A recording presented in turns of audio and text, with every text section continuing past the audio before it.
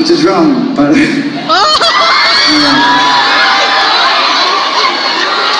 I'm having a good show. I hope you guys see you soon. Thank you.